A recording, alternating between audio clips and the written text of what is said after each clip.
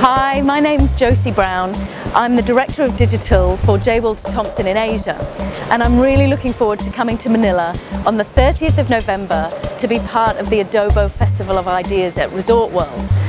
My talk is called Control Shift and we're going to be exploring the dynamics of personal control technology innovation and the idea of handing over control to the machine and what that means in terms of making us smarter, making us more intelligent and basically embracing technology to help us achieve more in our day-to-day -day lives.